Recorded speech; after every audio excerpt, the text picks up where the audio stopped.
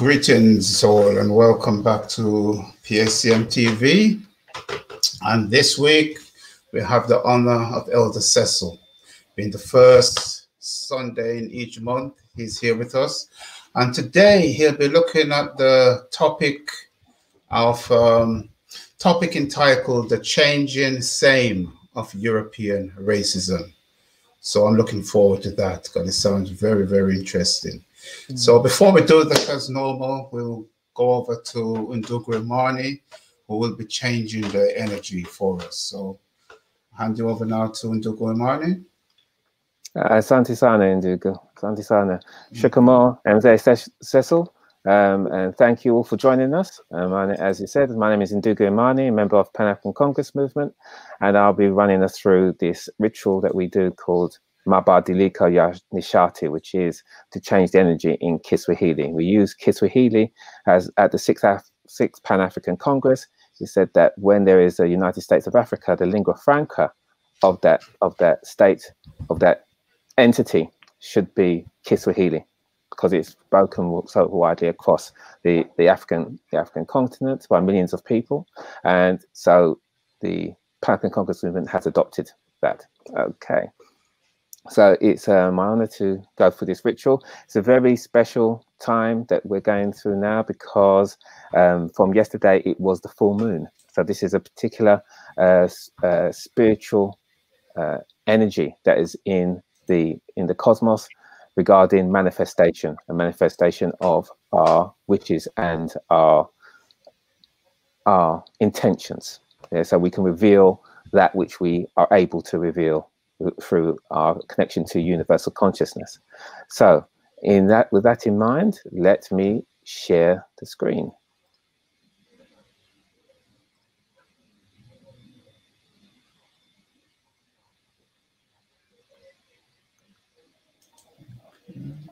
Okay, is that there now, Ndugu? Yeah, yeah, that's up now.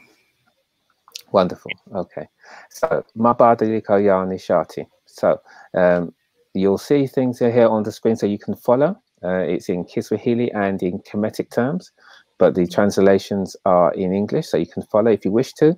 But if you don't wish to, that's absolutely fine. Uh, African spirituality is about is not about coercion. It's about love and about growth to, together and our, and our, and our understanding. Okay, so before I begin, uh, Mzee Cecil, hopefully you can still hear me. Do I have your um, permission to continue? Yes, my brother, please continue. Uh, Santisana. Okay, so before as we as we're going to start, we're going to start with bringing ourselves in more centered and become more calm and more in line with our spirit. And the way we're going to do that is with our breath, because our breath is that link between our physical entity or realm and our spiritual realm Uh, entity or realm. It's that bridge between the two. So, you know, breath is life. So, in order to do that, we're just going to breathe together, breathe deeply together, and to calm ourselves and to center ourselves. So, if you wish to join me, please do. We're going to breathe together four times. Four is the spiritual number for growth, health, and abundance, and foundation. It's a very strong number for that for areas to a, a house to a square.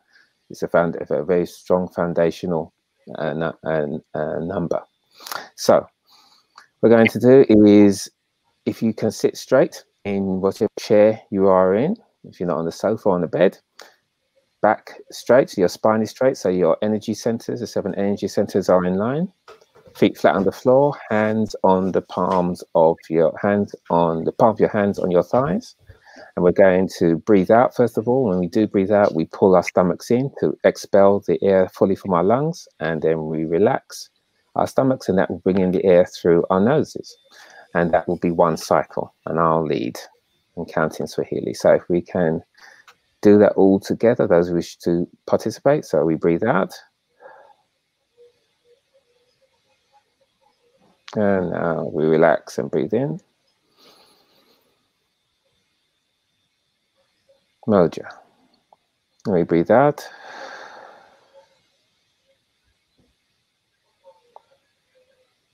And then we relax and breathe in. In breathing, starting to feel more calm, feel the clearing air coming into our lungs. Breathe out. Hold it and now relax, breathe in.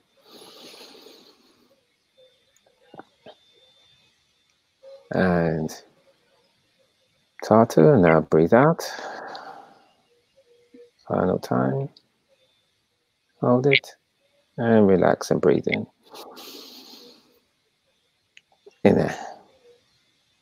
And it's very important that we uh, breathe like that, try and breathe like that all the time. It's, it takes a little practice, but that helps us to be calm, to be centered, to be focused, especially in this time with the disease and we're wearing masks. It's not good for us to continue to breathe, you know, shallowly through through coverings over our faces, as um, Mze uh, Baina Bello is often reminds us about breath and how we breathe properly if we're ever using those masks when we take them off. But it's also, you know, breathing like that keeps us to ask that we have a closer connection with them and they assist us in manifesting our objectives. And in order to do that, we're going to ring the chime three times, this triangle chime three times, three spiritual number for coming into being. Okay, and it's for creativity. Uh, creativity. So I'm going to ring it three times. Continue to breathe deeply. loud the chime to go around you, over you, and through you. And that changes the energy and the vibration where you are. So you become in resonance, into sync with the energy where you are that opens up your consciousness to the universal consciousness, and we can join together wherever we may be in the world together in one accord through that, that change in that vibration. So I'll begin, I'll count, and just continue to breathe deeply.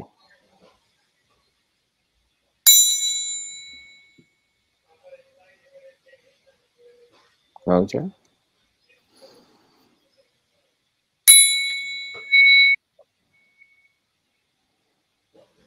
Mbili.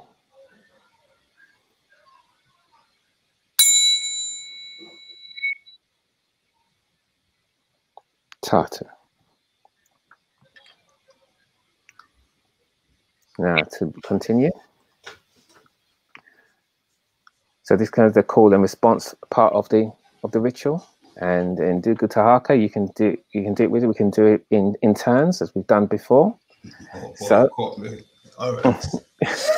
they caught me unawares last time because I wasn't practicing. Mhm. Right, so, okay, you comfortable with that, Ndugu? Yes. Well, if I get some of the pronunciation of it, because I haven't That's- practiced it. That, that's that's fine as long as we're sa- as long as we're saying it. That's that's the main thing. There's, there's the the the spirit and the ancestors don't mind as long as we're trying. So, I'll begin, and what we're going to say together is Sisi ni Kitu Kimoja. Sisi ni Kitu Kimoja. And that means we are one or we are the same thing. So saying something very powerful regarding these energies that we're calling upon. We start with the first ancestor, the all, the creator. So Ninaomba Yamuumba Awote. Sisi ni Kitu Kimoja. And this one here, Ndugu, Yeah, Ninaomba ya Nebacha. Na- Nabacha. Sisi ni Kitu Kimoja. Mhm. Excellent. Ninaomba kanuni na nguvu ya mamiwata. I'll leave that on screen for a second so people can read that. Sisi ni Kitu Kimoja. Ndugu, Okay. Ninaomba kanuni ya na nguvu ya nguvu ya shu. Okay, okay, sure.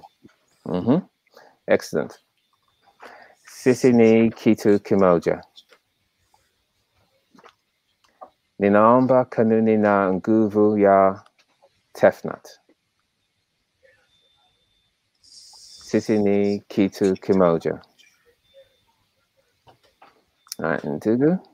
Ninaomba kanuni ya nguvu ya Nut. Sisi ni Kitu Kimoja. And now we go on to the Paut Netaru, which is over here, the Kemetic Tree of Life, the Kemetic aspects of the All. This is a spiritual science for our development of ourselves by calling on the powers that are and underpin all reality and existence, but also within our own psyches. Ninaomba kanuni na nguvu ya Geb. Sisini kitu kimoja. Ndugu, Ninaomba, ninaomba kanuni. uh, Oset. Excellent. Sisi ni kitu kimoja. Ninaomba kanuni na nguvu ya Sebek. Sisi ni kitu kimoja. Ninaomba oops, that's right. You, Ndugu. Ninaomba kanuni ya Heteru. Sisi ni kitu kimoja. Ninaomba kanuni na nguvu ya Haru. Sisi ni kitu kimoja.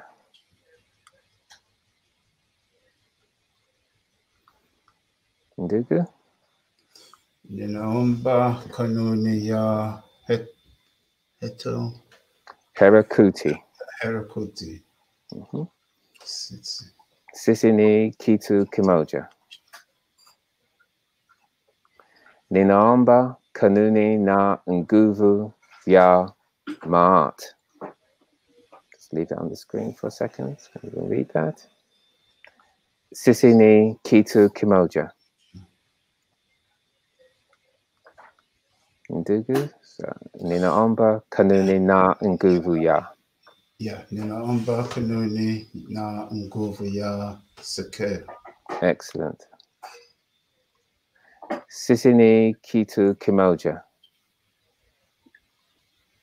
Ninaomba kanuni na nguvu ya Tahuti. Sisi ni kitu kimoja. Mm. Okay, ndugu? Yeah, ninaomba kanuni ya um, Ose, Osa. Mhm. Sisi ni kitu kimoja.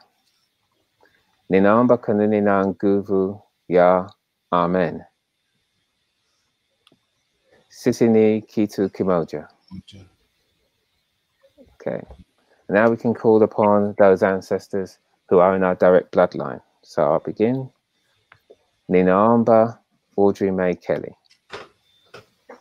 Sisi ni kitu kimoja. Ndugu? Yeah, ninaomba Iceland Ratigan. Sisi ni kitu kimoja. Anyone? Or Ndugu, you wish to call anybody else? Okay, ninaomba kanuni ya Louise Hines and ninaomba kanuni ya Sylvester Ratigan. Mhm. Sisi ni kitu kimoja. More. Ninaomba Bibi Ketera Reed. Sisi ni kitu kimoja. Okay, and anyone else Ndugu before we move on? Yeah. Okay, so now we can call upon those ancestors that are not in our direct bloodline but have given their blood, their time, their effort, and their lives for our families, for our communities, and for our nations and our race. I'll begin. Ninamba Mzee, the Honorable Marcus Mosiah Garvey. Sisini Kitu Kimoja. Uh, ninaomba kanuni ya Santua. Sisini Kitu Kimoja. Ninaomba Wazee Amy Ashwood Garvey na Amy Jacques Garvey. Sisini Kitu Kimoja. Yeah, ninaomba kanuni ya Shaka Zulu. Sisini Kitu Kimoja. Ninaomba Mzee Nanabosu. Sisini Kitu Kimoja. Yeah, Ninamba Kanunia, um, Brother Tagal. Sisini Kitu Kimoja. Ninamba Baba Berenge. Sisini Kitu Kimoja. Ninamba uh, Baba Dogi. Sisini Kitu Kimoja. Ninaomba Dada Jan. Sisini Kitu Kimoja.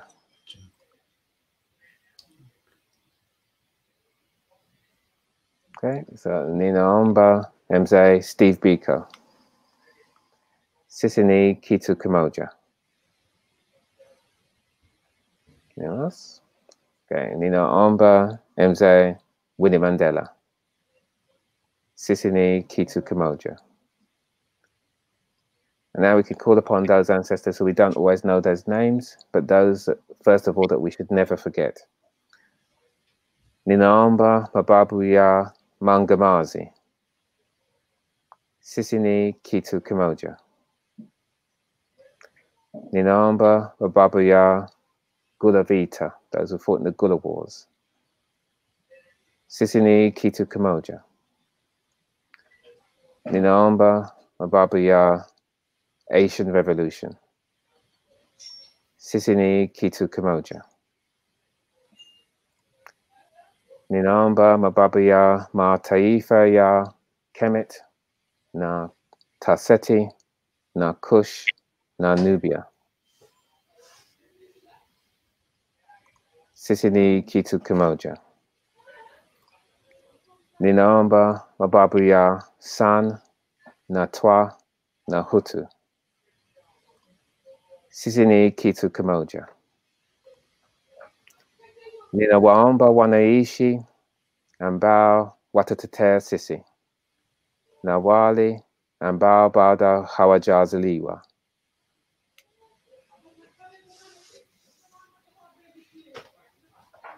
Sisi ni kitu kimoja. Now we end on the words of power and affirmation. So just repeat after me. Nguvu zote Nguvu zote kwa watu wetu kwa watu wetu na mapenzi ya wote na mapenzi ya wote ni mapenzi yetu. ni mapenzi yetu. Asanteni sana, Jamal. Thank you very much, Kindred. Okay. So now, um, as uh, we'll hand you over to Elder Cecil, who will be doing the pleasure of presenting today's topic. And again, the topic is changing the changing same of Euro racism. So now I'll hand you over to Elder Cecil. Thank you, my brothers. Uh, thank you, uh, Brother Chair.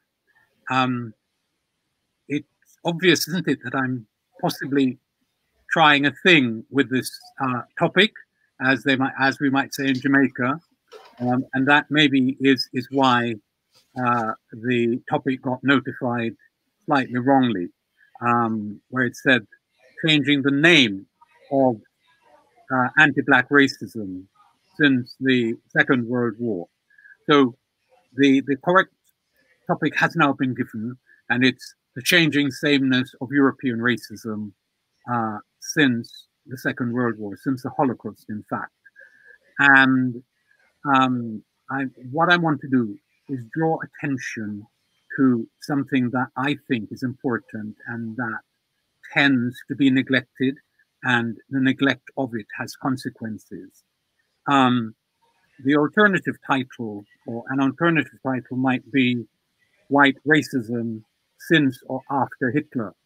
And there's actually a book uh, almost by that title called Race After Hitler.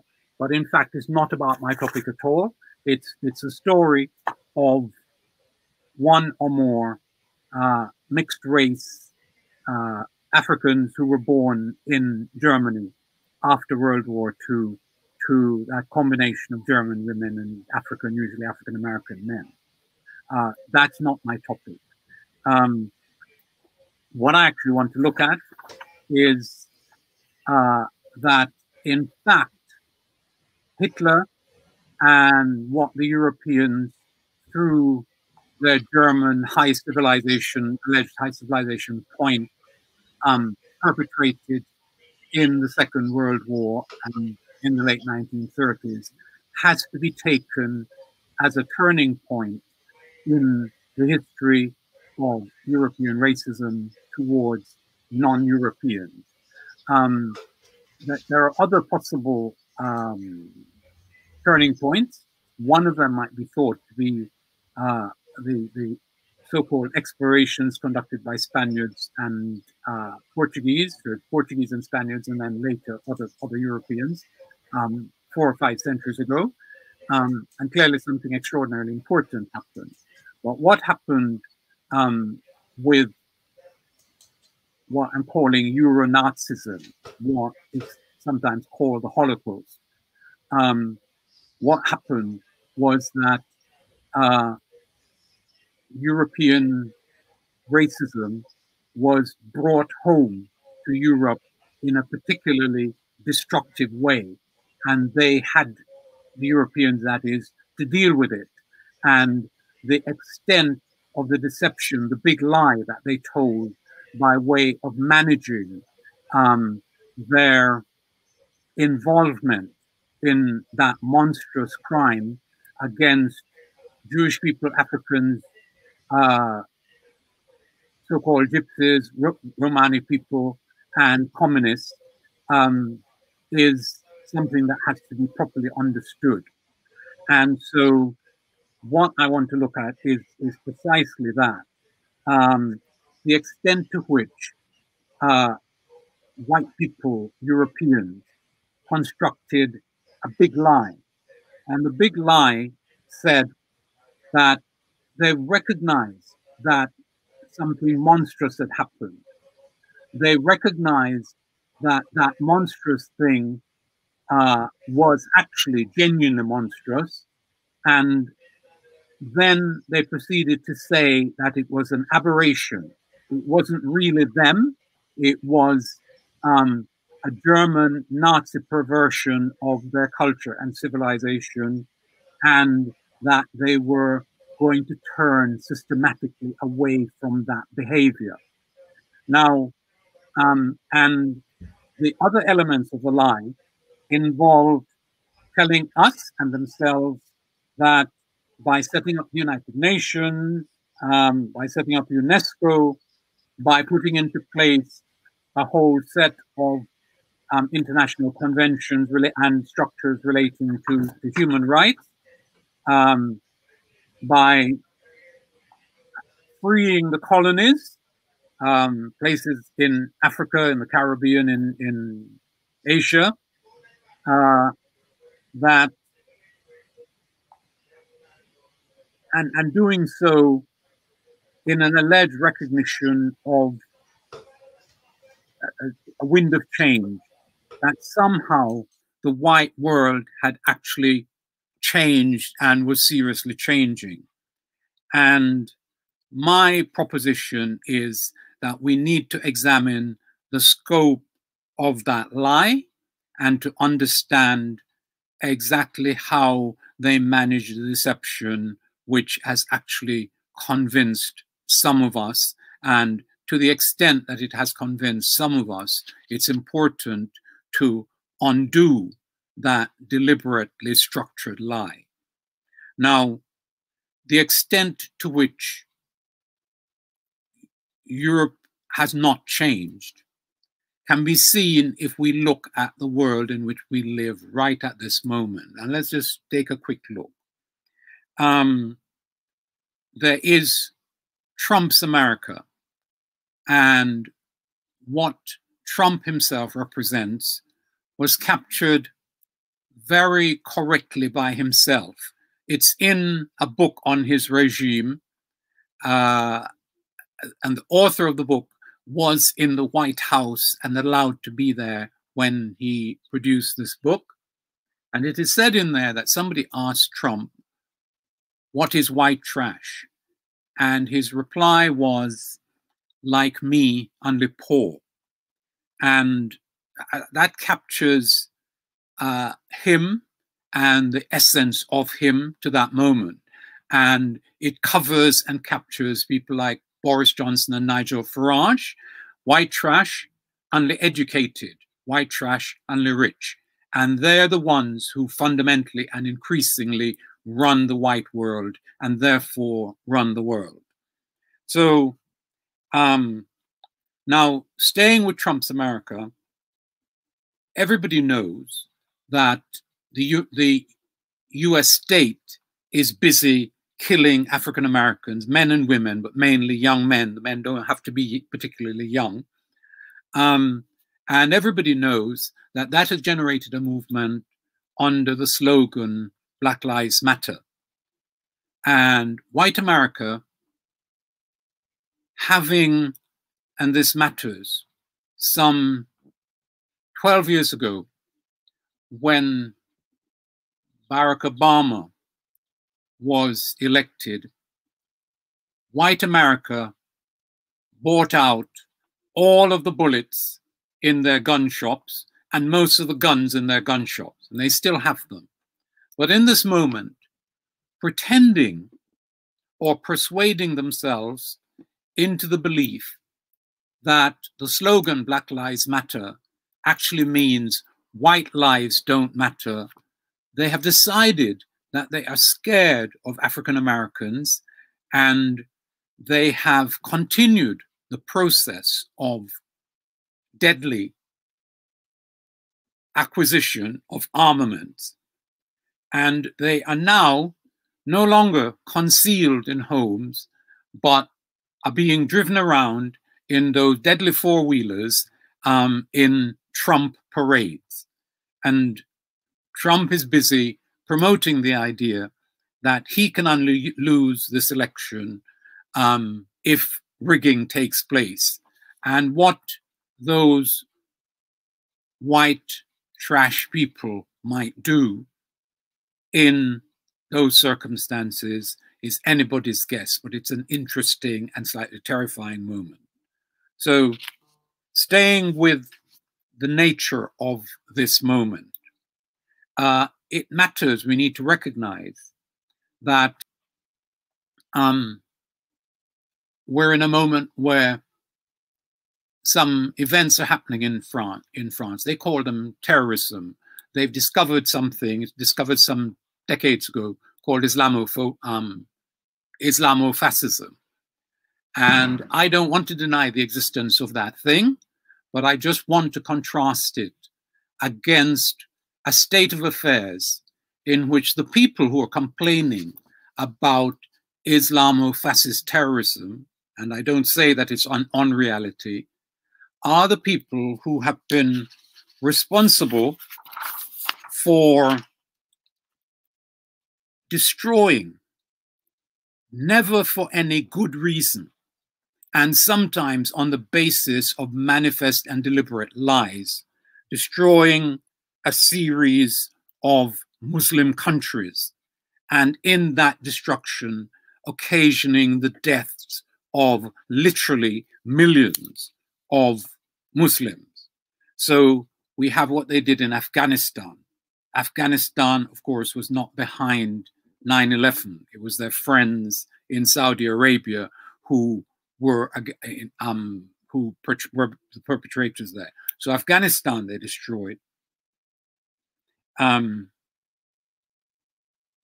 Libya, Iraq, Syria, that's still happening, Somalia, and in each or every, many of those cases, and Yemen, um, something is produced in those territories that they tend to call humanitarian crises. One of them is happening in Yemen as we speak. Um, Europeans don't bother to see this as terrorism.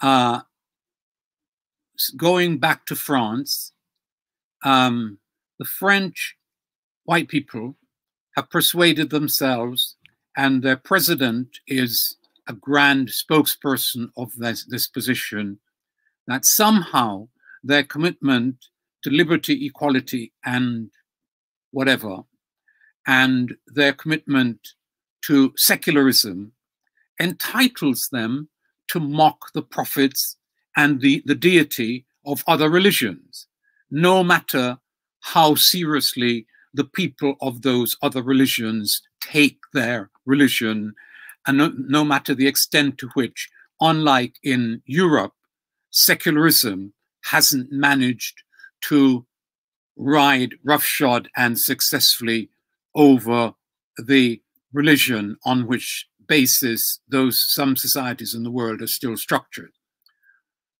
So, how it comes to be the case that some Europeans do not see that it is not only as they allowed Rushdie to convince them, it is not only art and literature that's sacred, but that some other people think that some other things, including their religious icons and their religious symbols, their prophets and their gods, really remain sacred, and that mocking them to prove the level of your secularity involves dangers.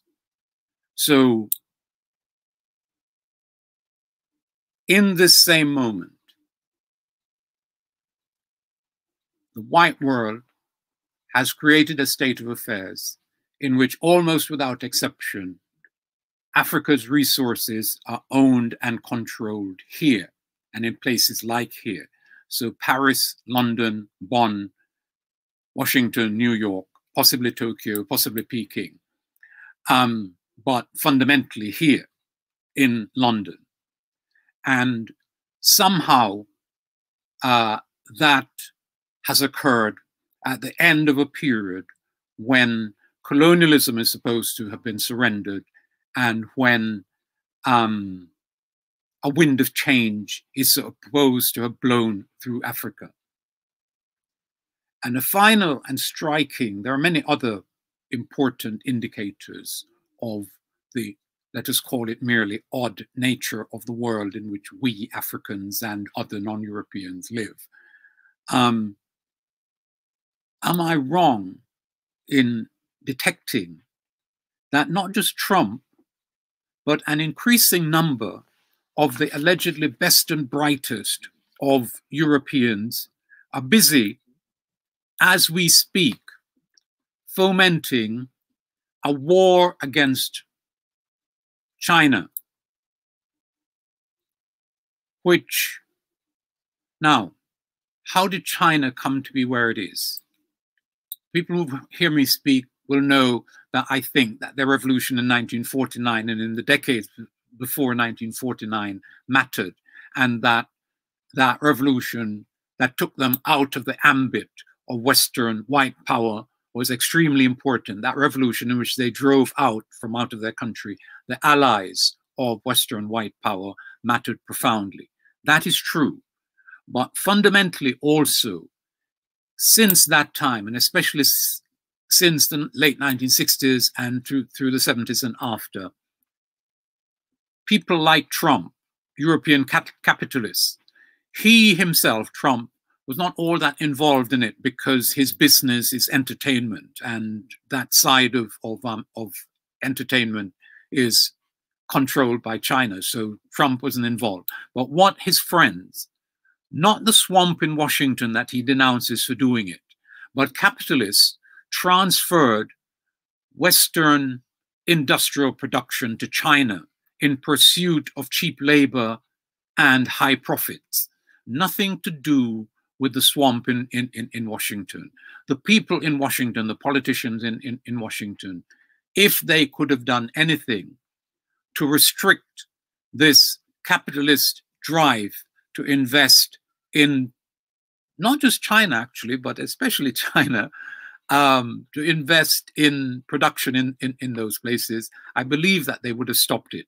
But given that the real forces were capitalism, and it is that capitalist companies, enterprises, um, big men that control the West, um, it would have been interesting at the very least had Washington, the occupants of the alleged swamp been able and willing since they are in the pay of the very people who are transferring industry to China to stop those people who are their paymasters transferring industry to China.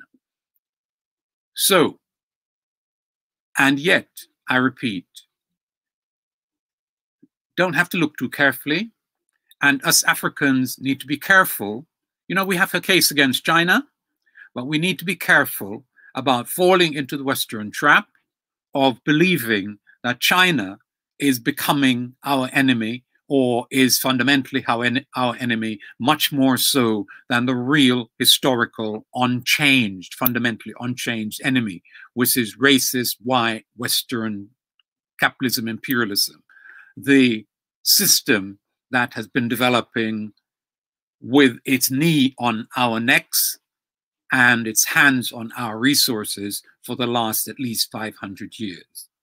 So, how, despite what happened in Europe between 1933 and 1945, something that they call the Holocaust, where the most civilized European nation, allegedly Germany, managed to cause the death of some 20 million Russians for no good reason. Their, their, their, main reason was that they were entitled to drive to the east. They were conquering an inferior people, not just a, a communist people, but an inferior people, and they needed the space of these Slavic inferiors and, and so on. Um, they murdered Jews. There's a figure of six million. It is now um, one of the things that has happened in the period since the Second World War is that um, the West has managed to put the proper discussion of what happened to the Jews during the Second World War beyond proper historical discussion and challenging that figure becomes something called Holocaust denial, which is a crime. It is an extraordinary state of affairs because every other Holocaust, and there have been many, including the one that is still being perpetrated against us Africans, which some Africans correctly in Kiswahili call the Maangamizi, um, which is still going on. Um, you know, enslavement ended, colonialism ended, but neocolonialism is just as brutal, exploitative, destructive, and monopoly capitalism in places like Britain, France, Germany, the United States of America is just as brutally destructive of Black lives as were things under colonialism. And sometimes in places where they have us, people who look like me, running the states, um, they are killing African young men and African others in exactly the numbers with much less restriction on their conduct than was once the case under colonialism, where people in Europe and others were actually looking at their conduct in, in, in, in the colonies. So I think it is important that we ask and understand how it came to be that Europe committed that crime. It was their crime. The very important thing to understand is that the Holocaust was not an aberration. It's important to understand that European history within Europe and outside had been a site of multiple genocides for millennia. It, it is important that we understand that even though the Holocaust looked new and dreadful, if you take a careful look at the internal history of Western Europe, in 1492, when Columbus sailed across the Atlantic, the other famous thing that happened in that year was that Islam, understandably, and Jews were driven out of Spain and Portugal, the Iberian Peninsula. It matters that a century or two earlier, Jews had been driven out of England. It matters. There's at least one interesting art article that I read somewhere that said that in the period before the Jews were legally excluded from, from Britain, what had been happening was that the English government had been bleeding the Jewish community white. And once that's happened, via taxation and other mechanisms, and they had nothing more to take from them, they drove them out of, of, of Britain. Um, so, importantly, internal genocides, pogroms, um, racist attacks on communities within Europe, on the Celtic fringes of Europe, on what they did in Ireland, on what they did to crofters in Scotland, um, on what they did to Wales. This is just talking about Britain, nowhere else. Um, the idea that there was something exceptional about the Euro Nazi Holocaust is, of course, an absurdity.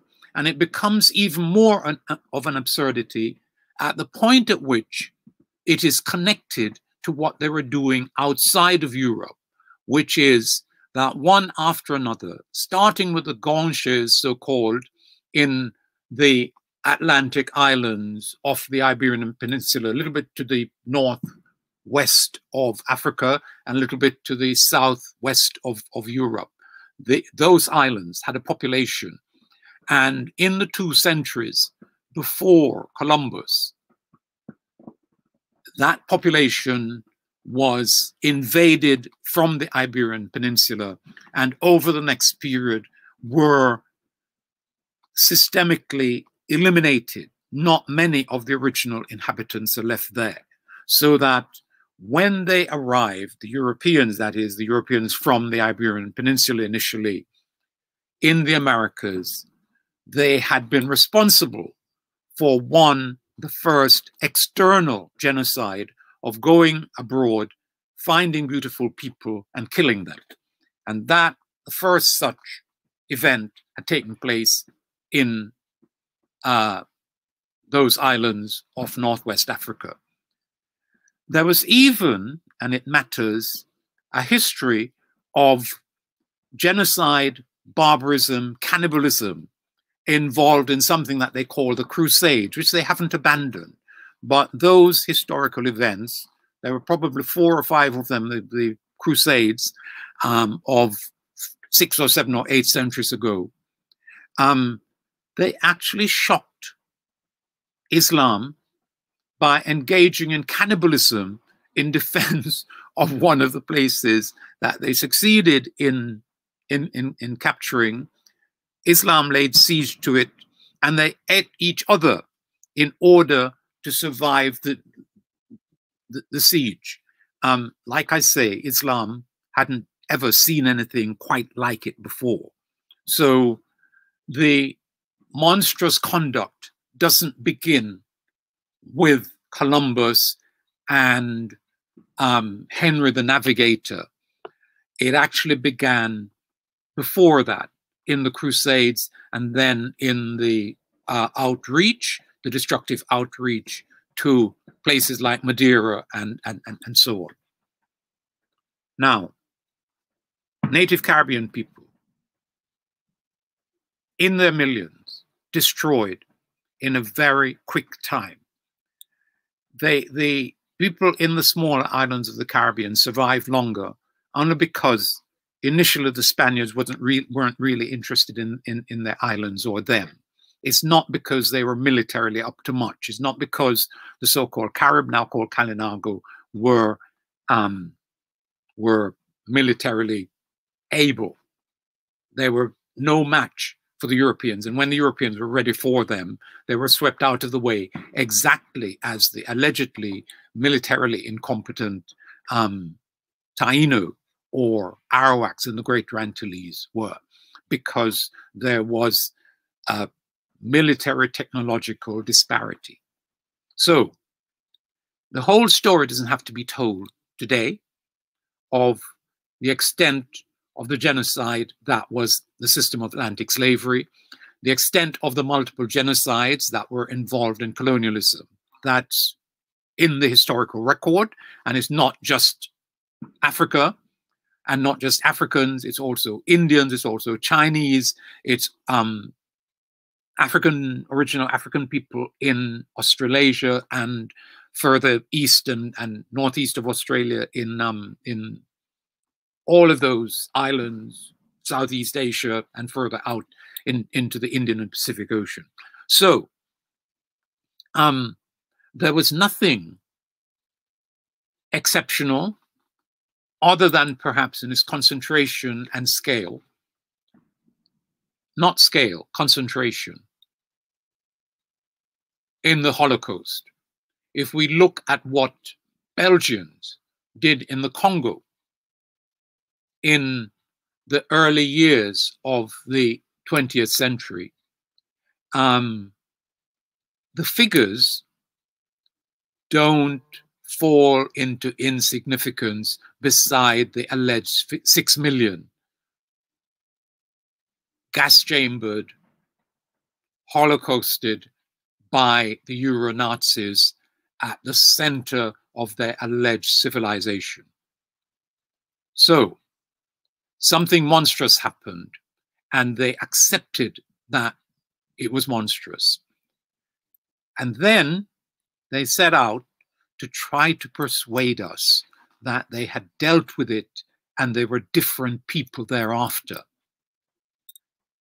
Some of the evidence that I've already cited, the nature of the world in which we live now, the um, destruction of Islamic countries, the destruction of Black lives in the United States of America and elsewhere, the capture and control of our resources, the murder of our leadership who tried to stand up against that kind of activity, um, that exploitation, um, suggests that really, if there has been change, the nature of the change has been such as to secure no change, as to secure an unchanging state of affairs, or a changed state of affairs that's substantially how it was before the alleged change took place. And that is what we have to look at. Now, how was that managed?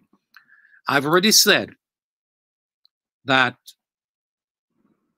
it mattered that Europe acknowledged the monstrosity, the European monstrosity of the Nazi German Holocaust.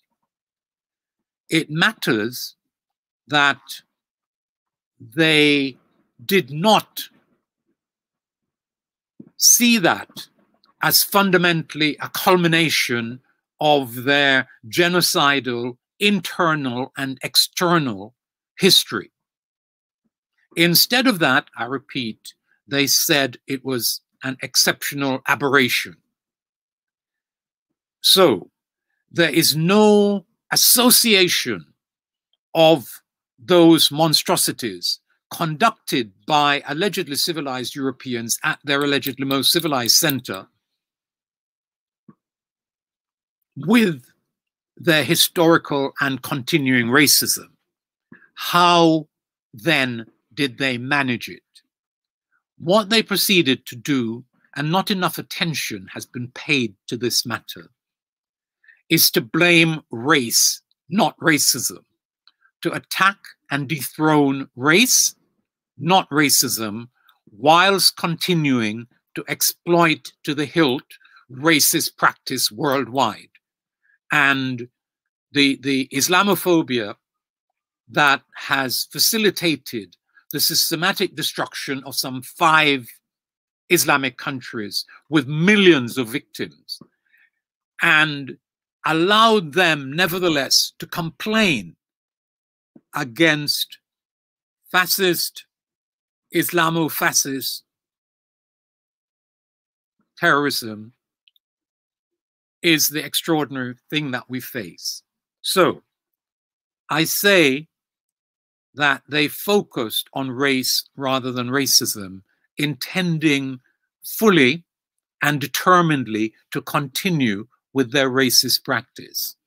Now, how is that handled? Um, people who read around racism will know that there's a book by somebody called Montagu, um, which is entitled Race, Man's Most Dangerous Myth. That kind of book is something that we have to look at and understand. But it is that book isn't an isolated item.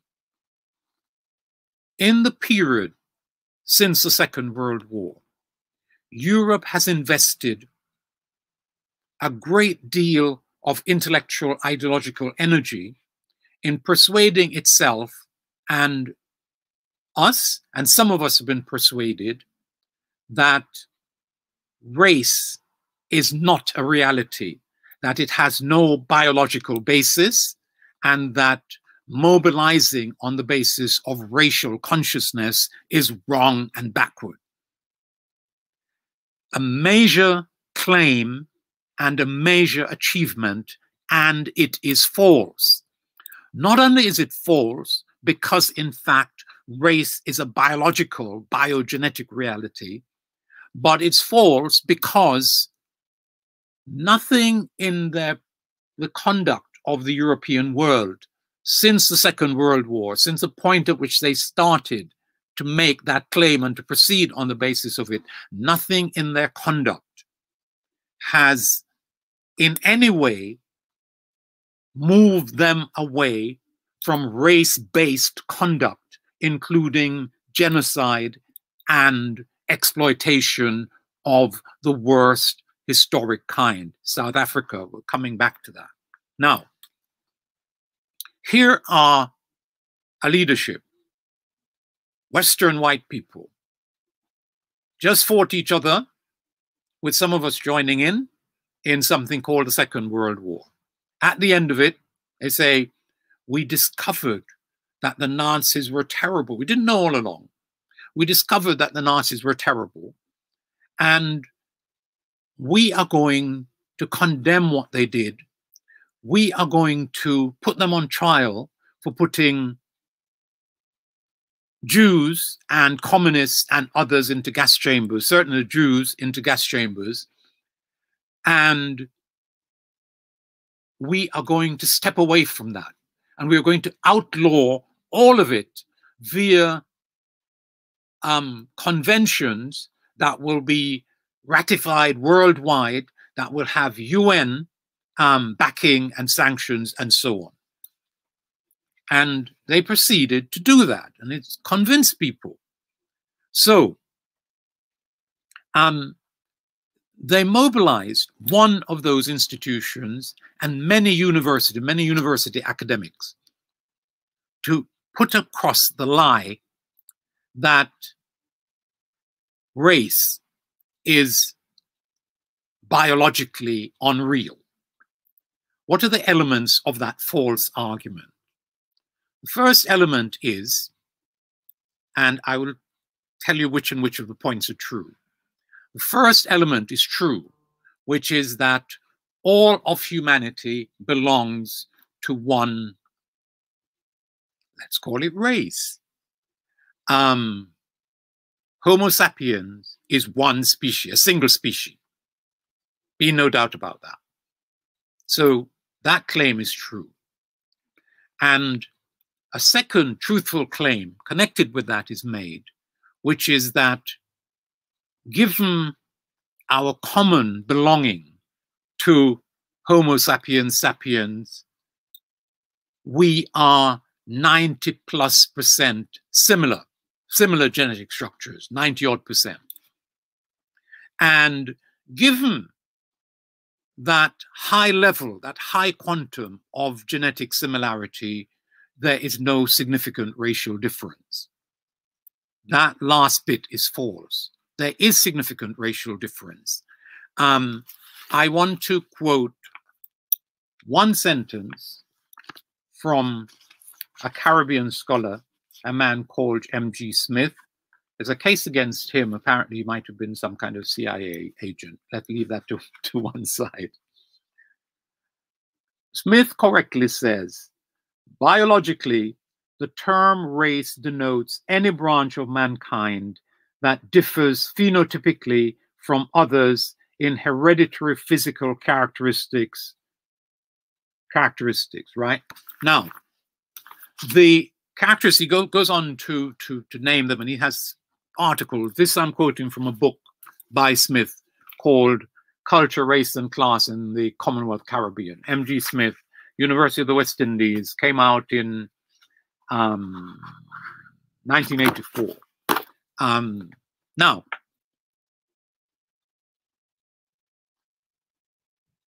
the differences are genetic.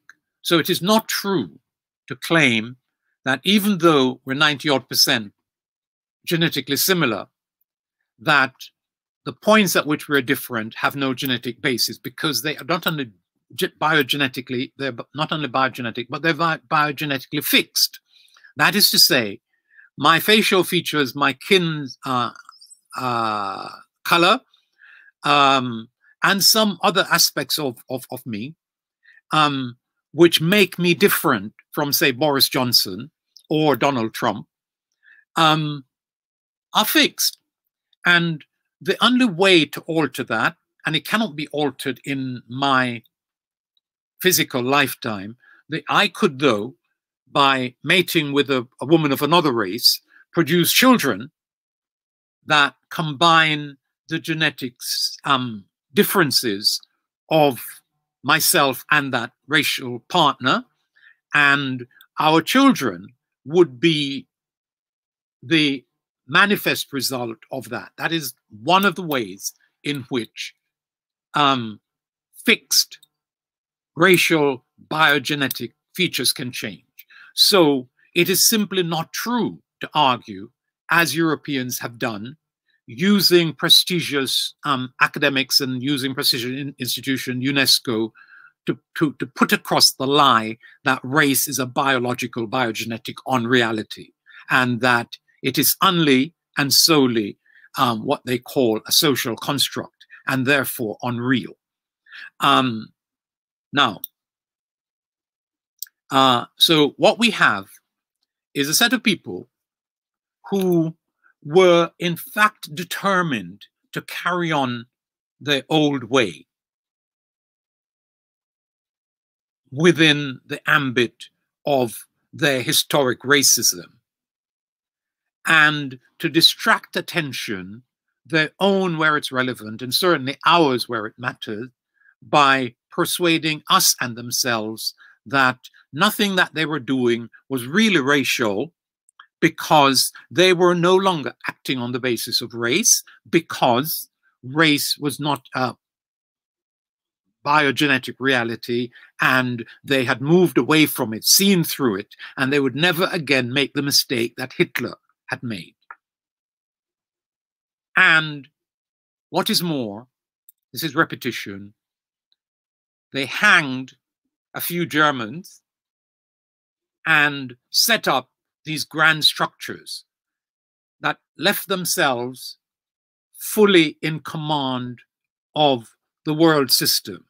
They have veto in the key parts of the UN that matters, the Security Council. China also has a veto and Russia also has a veto, but they're frequently misled and misunderstand what the their, the wicked whites are, are, are really doing.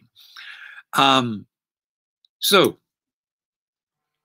let us look at these people who had put race, not racism, behind them in the post war period. Incidentally, the concentration camp, which was the mechanism using railroads by which they got Jews and gypsies and communists and others and Africans too into eventual gas chambers and points of elimination via gases or slave labor. Um, and I repeat, at Nuremberg, war crimes tribunal, condemnation, death by hanging, occasionally life sentences. And then those um, concentration camps, to return briefly to them, weren't invented by the Nazis at all.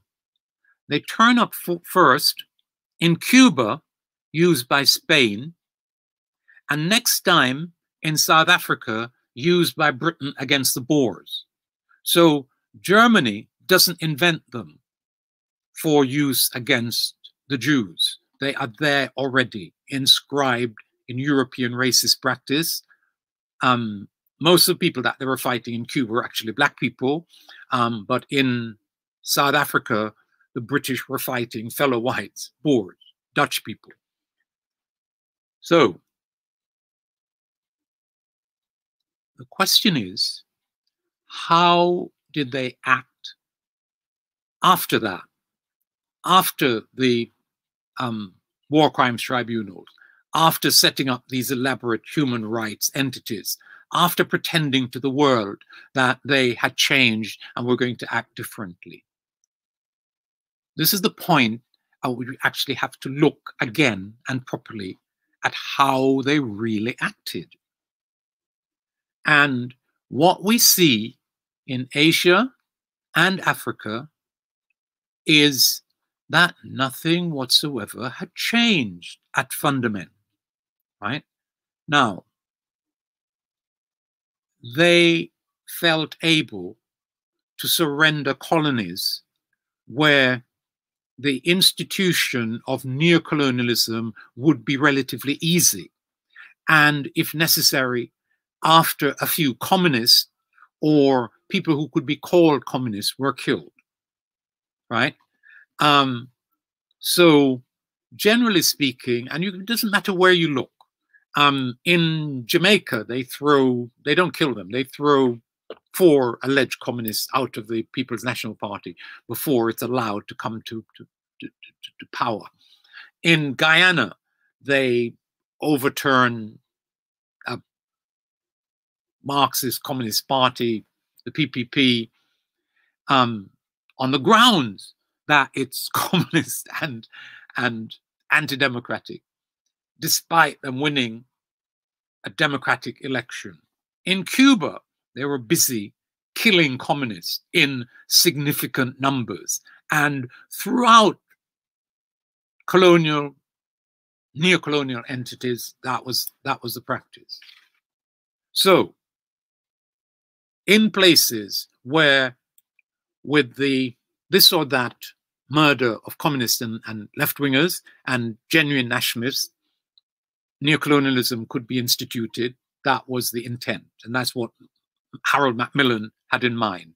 The French had something even less genuine than that in mind.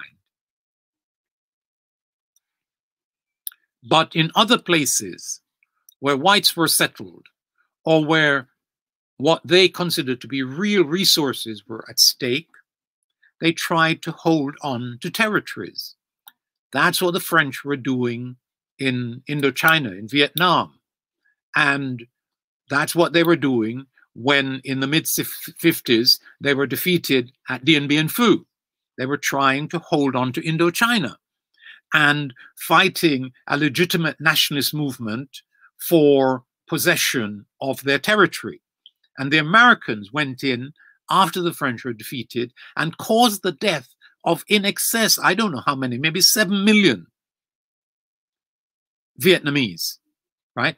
And these are people who had just put their fellow Europeans to the gallows for doing exactly that. And then we have Kenya and we have Algeria.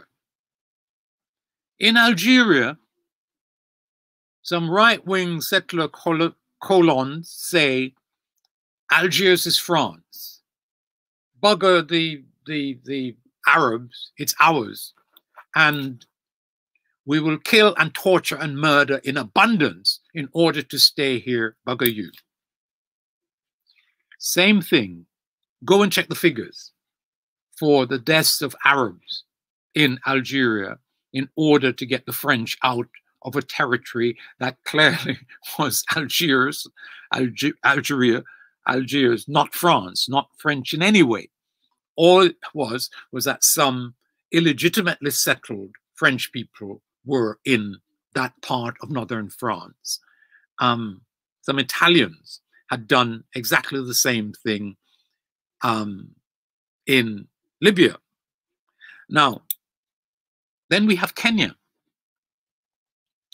A group called the Kenya Land and Freedom Army, late 40s, early 50s, decided that something that had happened in the early part of the 20th century, namely the total dis displacement of legitimate African settlers who were using their land in legitimate African um, agricultural ways, were not actually in occupation of their lands and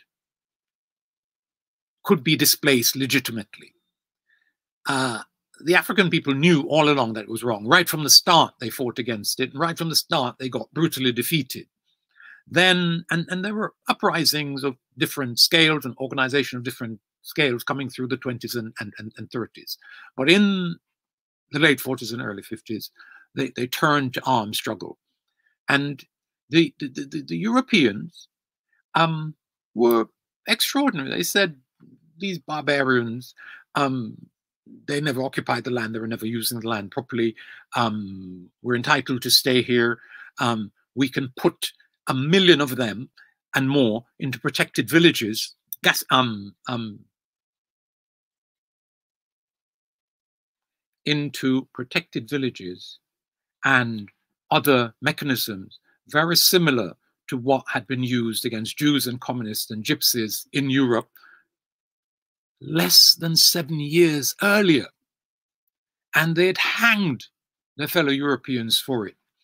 And, and you go and read the parliamentary papers here, and you will see government ministers getting up and saying, not a thing is wrong what, with, with what we're doing. What we're doing is fighting some barbarians. We're entitled to do what we do, what we're doing.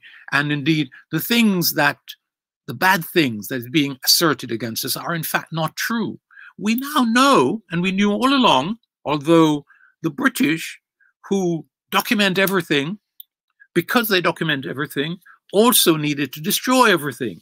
And so it's taken some time to redocument and, and to put into in, into books um, the, the, the stuff about their real genocide in in Kenya between about 1952 and 1956 right? And the same happens in Southern Africa. The same happens in the Portuguese colonies. So here are, peop are people who, and, and Gandhi was absolutely right. Somebody asked him, what do you think of European civilization? And, and Gandhi's answer says that it really doesn't exist and that if it existed, it would be a good idea, although what it would be is another matter.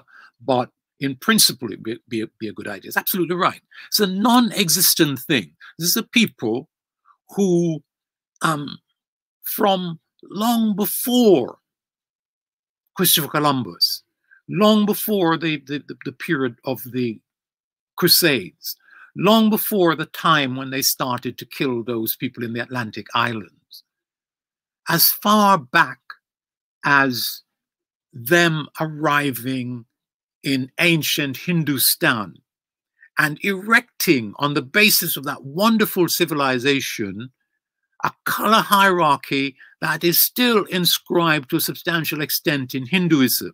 So the moment the Europeans escaped from the ice that modified them out of us and created the monsters that they are in their icy circumstances, every time they leave and go somewhere else, they proceed to deploy power, to destroy ruthless power, and to set up oppressive pigmentocracies. It's not new. And the Marxists, and I'm one of them, who I know it to be true because I'm not that kind of Marxist who believe that European racism is a is a creature of the last 500 years, a creature of capitalism, is simply wrong. There is historical evidence that the people who were created in the harsh conditions of the last ice age, especially the ones who uh, didn't migrate eastwards and become Asian, Chinese, and Native Americans, the ones who stayed in the ice of Europe, um, are set of genocidal barbarians who have no morality.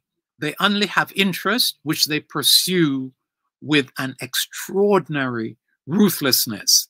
And that was true three, four, five thousand years ago in ancient Hindustan.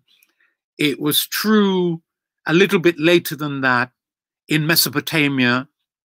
It was true in ancient Greece. It was true in ancient Rome. It was true in the Middle Ages. And there is evidence of their racism in all of those places. So it doesn't begin with something called modernity. It is a fundamental feature of their history. Now, my last point. Not only am I saying that we must reject, because it is false, the notion that race has no bio biogenetic basis. So, us Africans are a biogenetic entity called a race, distinguished by my phenotype with the variations that exist in continental Africa and elsewhere in the world where we've spread and not been modified by cold. But in addition to our biogenetic reality, somebody said, it turns up in a quotation in a book uh,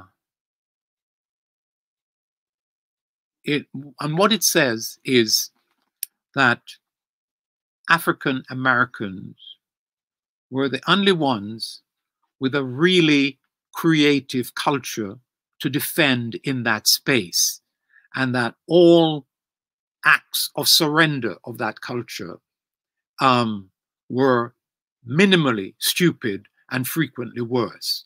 So, if that is true in the United States of America, if it's true in the Caribbean, how much more true is it in continental Africa?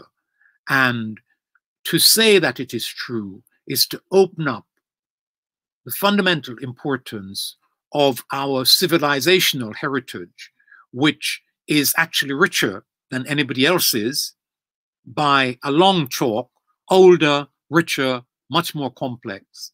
Um, fundamental to human creativity and human civilizational achievement. And that is the civilizational heritage on which Africans, biologically real, biogenetically inscribed in nature, historically stand and boast and declare.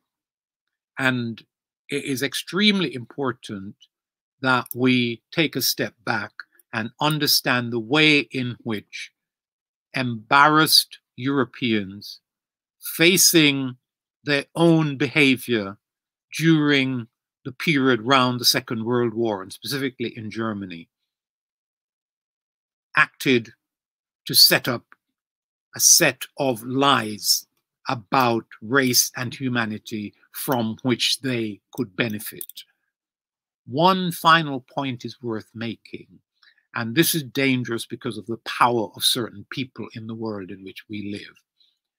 But a feature of this post war moment is that the Europeans, having been responsible for the mass murder of a significant proportion of European Jewry, allowed them, on the basis of something called the Balfour Declaration, which itself makes it clear that a national home for the Jews in Palestine could not be set up because it would endanger Jews in Arab countries and, much more importantly, would endanger the Palestinian in inhabitants of that place who were there before Abraham alleged that his God sent him there.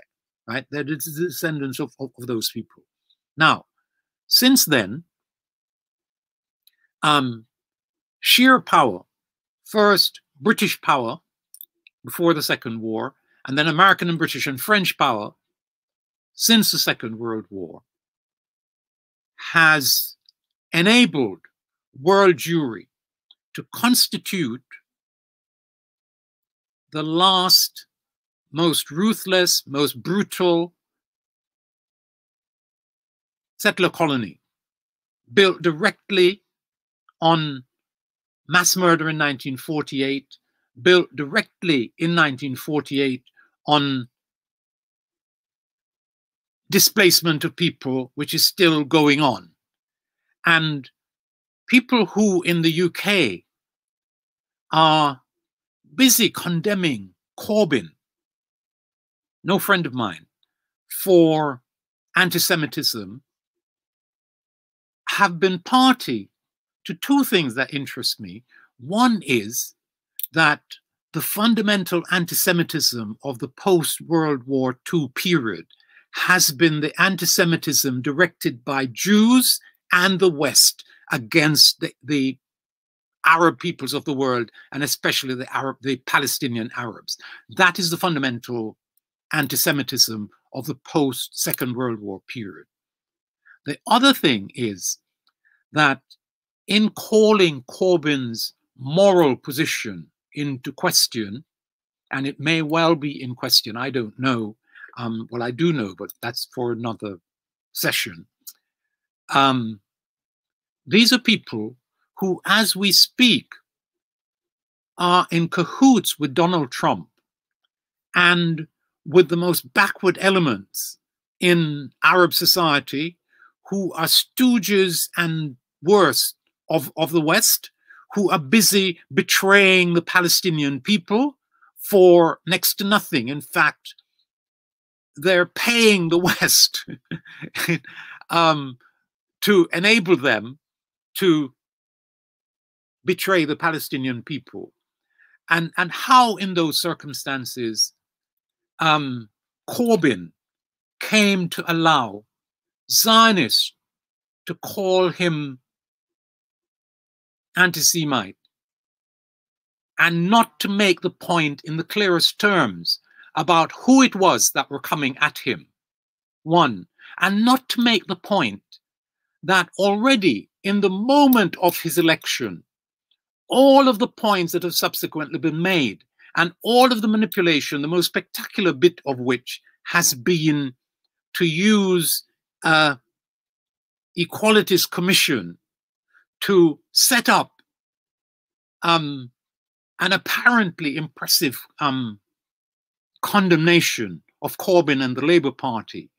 The people who wrote it ask no question about the meaning of anti Semitism. They mix up categories that are fundamental to anti discrimination law within the report. They talk about um, things being the tip of the iceberg. And when you look at the, the evidence, there is no iceberg. When you look at the way in which the Labour Party in defense of complaining Jewish people moved against Africans and others right here in London, moved against Ken Livingstone with no argument in their favor, with the truth being on Livingstone's side. And you have to wonder how it comes to be possible for something like that to happen. And then you have to know that power matters. You have to know that you're talking about Western power. You're talking about the power of um, the Jewish community internationally. You're talking about the power of their lobbies. You're talking And this is in, I'm a, student of sociology and history. I've read in the past the Jewish Journal of Sociology, and there are articles in there about how they set up um, what they call gatekeepers in institution after institution. What are the questions that must be asked about which Jewish Zionist gatekeepers are employed in the commission that last Thursday or Friday brought out that stupid, lying, misleading report against the Labour Party. And all that's at stake is that British Jews, most of whom are Zionists, and who are used to having a Labour Party led by Zionists, found Corbyn elected against their will as leader of the Labour Party. Corbyn was the first anti Zionist to occupy that position.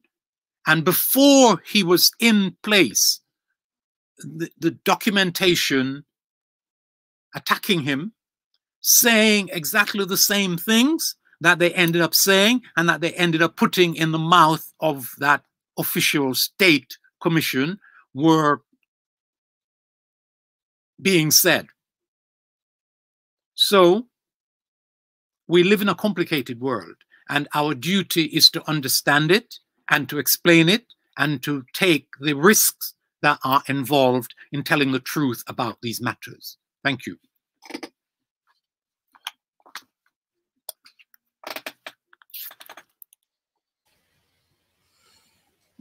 Well, um, Think all the viewers have heard what you're going to say. Um, so now we're just waiting for them to bring some points forward. Uh, there's one here, so let me start off with this one. Um, where is it gone? Uh, oh, just kind of jumped away. Uh, uh, Okay, yeah. As, as you can see, I'm surprised that you is suggesting that race is a biogenetic rather than. Well, I'm not surprised that our brother or sister, whoever is um is there, is is surprised.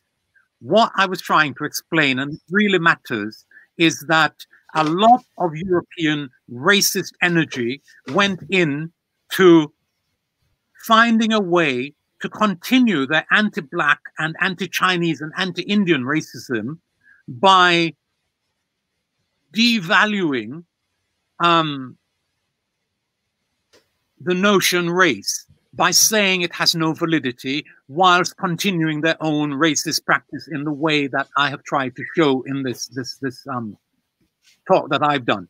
It, it is perfectly easy for me to go to the, and I have all of the books on my shelf somewhere in my, in my library, uh, to go to the um, UNESCO um, structuring of this lying argument that um, race is not a biogenetic reality. I read you one quote from a significant Caribbean scholar, M.G. Smith, and let me read the quote again for our brother or sister who is surprised at the truth. Um, biologically, the term race denotes any branch of mankind that differs phenotypically from others in hereditary physical characteristics. That is the definition, the biological, the biogenetic definition of race. And it doesn't mean that we're not all within Homo sapiens sapiens we, we, we are. And it doesn't mean that all of Homo sapiens sapiens doesn't share more than 90% bio, um, biogenetic similarity. It is the biogenetic difference, which is undeniable, which is permanent, which is only variable by intermarriage or by genetic accident. Yeah. And so the claim that race is simply a social, socio-historical construct It is that, but it is also, and more importantly, biogenetic and importantly, culturally fundamental. And I, as an African, am not interested in allowing anyone, and I have colleagues in my, my former university, in the University of the West Indies, who, who swallowed this false line, hook, like, line, and sinker. And my task today, and I can develop it further in next time by actually bringing along the um, UNESCO material, um, which shows the way in which Europeans, in the aftermath of the Second World War, set out to do something, which was continue their racism, and in, instead of attacking their own racism, attacking race and building a framework for continuing their exploitative and wicked and destructive and, and um, genocidal racist practice worldwide, whilst pretending that they're not any longer committed to race. Mm. Okay. Uh, the same brother's got another yep. point, which is good to bring up. Um, as you can see, there's pointing out in the book Silent Wars, Imperialism and Changing no, I, I, know the literature, you know. Covers. So there's really no point in oh. telling me that there's a whole gigantic literature. That's a point I'm making. That whites and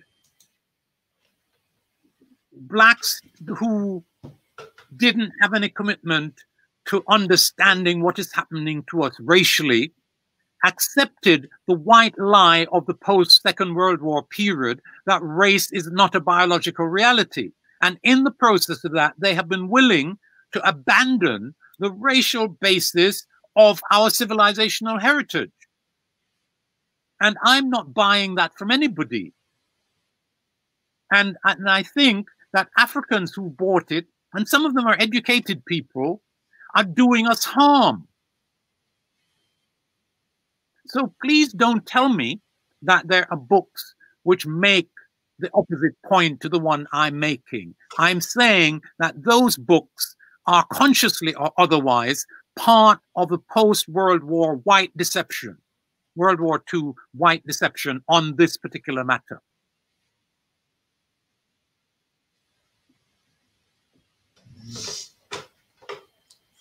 Okay, uh, there's another point here uh, said the power of lobbies is function of big government if the state is limited. Okay.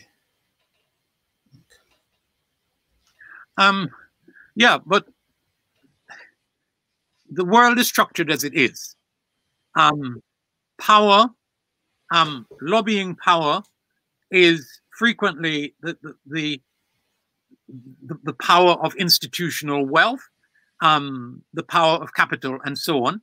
So, as, as long as the system is structured broadly as it is, um, lobbies will be powerful, and there will be some lobbies that are, for example, humanitarian, that are environmentalist, and, and so on. They're always going to be less powerful than the really powerful lobbies. And that's a problem that we face. But nothing in the current order of things renders lobbies irrelevant. They are powerfully relevant because they represent interest, either positive interest, as in in this moment um, environmentalism does, or in the United States, as you know, Black Lives Matter does. But you know, in comparison to Black Lives Matter, um, it's probably true that the media is reasonably well disposed towards Black Lives Matter. But even so, the power lies elsewhere. Okay. Well, I've got a point. I've got a little question here. I mean, you mentioned about the feeling of entitlement yes. Uh, by Europeans uh, that leads them to mock what is sacred yes. to others. So, um, what's going on in France now, for example? So, you would think the reaction is justified. Well, in terms who, of whose reaction? The reaction of, say, the Islamic world. No, wait, wait, wait. No, I, I don't say that. No, what no, I, but I'm no, asking. It, it, it, no, no, no, it's all right. What I mm-hmm. say is this that here we have a culture, Western Europe, that has been secularized over the past five or so hundred years. Um, secularism, secular science, um, rode roughshod over and defeated Christianity. That's what happened in Europe. So Europe, certainly in a deep way, is secularized. And along with that secularization, there have developed some values, which and those values include saying that it is all right to mock the sacred, the traditionally sacred. And that is okay in Europe because Europe is a space in which the secular has won. There are some other spaces in the world where the secular has not won. Islam is one of them. And the West should have learned from and not allow themselves to be deceived down the Salman Rushdie road. Salman wrote something, an essay, which I read carefully more than once. It was called Is Nothing Sacred? And what the essay effect, in effect says is that the traditionally religious sacred is not sacred, is available to be mocked by people like me, but there is something sacred, and that sacred something is art and literature. Now, you can buy that and run the risks that go with it. Because if you take it to the point where you mock the sacred of the Hindu or you mock the sacred of Islam, you might run into trouble, which is what happened with Rushdie, which is what happened with those stupid people at Charlie Hebdo, in, in, in France, which is what happened to that teacher who believes that somehow, um, because they are Westerners, they are entitled without fear and without consequences to mock other people's sacred. And you're not entitled to do that, not really, and not without risk. And, and when those who value from those other spaces, the sacred, come at you mm-hmm. out of elements of their culture, which you might consider barbarism, right? Um, I make the additional point that yes, there are barbarous elements in Islam, but that is all that the West focuses on. In my talk, I was concerned to remind people about the extent, monstrous extent of Western barbarism not in long days gone by, not under colonialism and enslavement, but in the period since the Second World War, when their barbarism included reinstituting um, concentration camps in Kenya, when their barbarism included causing the death of more than 7 million Vietnamese for no good reason, when I don't know the figures for Algeria. I don't know the figures for Southern Africa. But we're talking real barbarism here. And and the only barbarism that gets into the Western press is is when a, a, a, a Islamic terrorist kills somebody or cuts off somebody's head. What about all of the provocation that the West is throwing at these religions, including the destruction of their many countries and including the assault on their most sacred, right, including the the um the, the Prophet of Islam. That's what I'm saying. Mm-hmm. Okay, yeah, that's that's quite clear. So it was just to tease that out because I think um, there's a hold on, there's another point here. Um, I think there's a race concept and then the genetic concept. Okay. okay, I hear what this person is saying, and yes, he's he's he's he's right.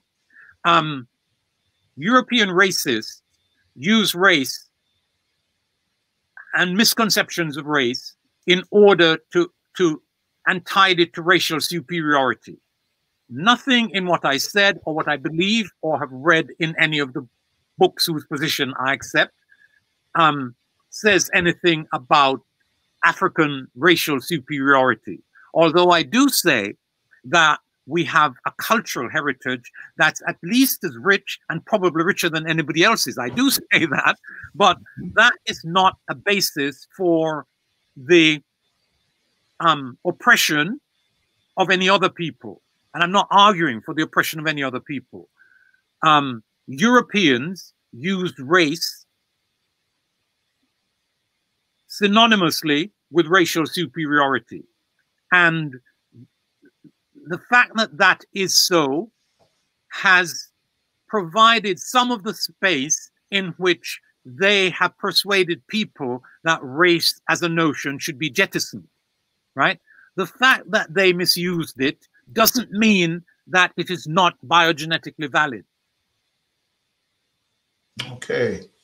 Um, the brother that brought up the point has come back just to, uh, because in your answer, I thought, sorry, just so the okay, I'm glad, Rudy, I'm glad Ferudi agrees with me. Some okay. people do. okay, right. There's a a brief point here that that I don't know what to make of. Marxism ah, is also friend, what my my friend my friend from Jamaica, Kofi, who I do know. Um, some elements of right Kofi knows that I have some commitment to a version of, of Marxism. Kofi should know that the version of Marxism that I adhere to is not conventional Marxism. I know that a case has been made for the racism of Karl Marx. I know that many Marxist parties and Marxist individuals in Europe have historically been racist. I know all of that. And the commitment to um, Marxism that I have, which I share with some other iconic black people, including Walter Rodney and um, Kwame Nkrumah and, and, and, and others, um, is not the racist official variant of Marxism. It's, it's the, the version that has gone through the through the mill of Cabral and the mill of Rodney and, and, and, and the mill of Fanon and so on. And, and, and it's a different and for me, usable set of ideas. Okay. Um, he also says this, uh, same Kofi. Oh yes, no, I'm I'm I don't know, right? That's the language of the people who are unprepared to respect um, religious fundamentalism. Now, I don't say that some religious fundamentalist positions are not difficult ones that have to be fought. What I do say, however, is that there is no secularism derived right without fear to attack and mock other people's most sacred position. And if you do that, you run the risk that some of them will come at you and they will feel entitled to come at you. So I think that all rights have limits and there is no unlimited right of Western secularists to attack um, other people's religious values. None. Okay. Not unlimited. Right. And then this one asking you to compare the issue of race and contrast that with Cheikh Anta Diop position and race. No, um, Cheikh Anta Diop's position, and, and I'm a big fan of, of Cheikh Anta Diop, is a position that, that I hold. Um, he wrote a lot, you know, and so his position on race includes the stuff that that that that he did on ancient Egypt, pointing out the extent to which, after the the the, the end of the 18th, beginning of the 19th century, um, European racists set out to deny the blackness of the ancient Egyptians and so on. That's a position on on on race, and it's to do um, with the defense and reprieve and rescue of our key cultural civilizational achievement. So Diop is massively important, and that's what his his work on ancient Egypt is about. Now, elsewhere in his in in, in his work, um, he talks about the development of um of of races or subgroups, racially defined subgroups within the human population. And if you go and read his stuff, you will see that he talks about the impact of the last ice age. It's called the Würm glaciation, um, and, and, and the extent to which that, in the circumstances of um, the, the, the, the, northern continent and especially Europe, um, produced genetic um, social isolation, um, genetic drift, and um, one other biological um, accident where you know the, the thing that happens to produce um, what in Jamaica we call dundus. What's what's the word? It doesn't. that, oh, huh? Say again. Oh, I'm, I'm, trying to think myself. Yeah, exactly. All right. So um, Diop deals with all of that, and and and he talks about um, the blackness of the, the first settlers in, in ancient Britain and so on. So Diop's work is fundamentally about race, but he also, and he's very French in this regard, he says that it has to be done on the basis of science, not ideology. And, and so he always holds systemically, systematically, fundamentally to the proposition that um, race um, is a scientifically established and value, um, viable and necessarily correct um, biogenetic concept and, and, and so on. All of that is in Diop's work. Okay. So the word we was looking for, I think, is albinism. Yes, albinism. Yes, but that is that that, that, starts, that that that starts by um, a, a, an accident within the the, the, the genes, the, the genetic structure of, of, of the person who is black and whose parents are black, but something happens and they, they come out with a white skin and and, and, and, and so on. Now, um, the, the, the, the, the argument is that Africans in the horrendous condition of the last glaciation, last ice age in Europe, in small social groups, faced social isolation, faced um, um, genetic accidental change that got reinforced um, in, in a process called genetic drift. And all of this is established in the biology, in the biogenetics. And, and, and it leaves human beings 90 odd percent similar. And those differences matter because on the basis of them, in, in the places where we stay, we develop or didn't leave, we develop cultural and civilizational achievement that we have to defend because they're ours.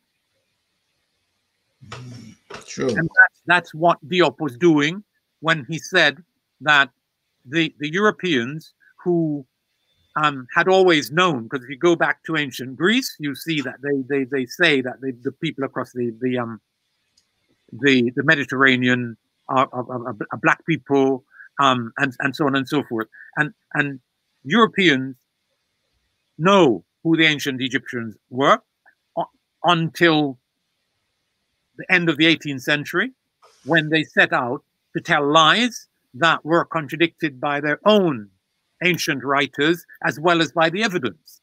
The evidence of who the ancient Egyptians were go to the British Museum. I don't know if it's open right now, but just go and look.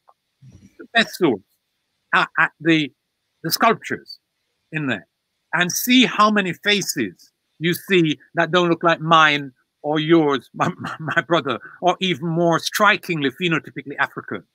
Very few, right from the start to the end.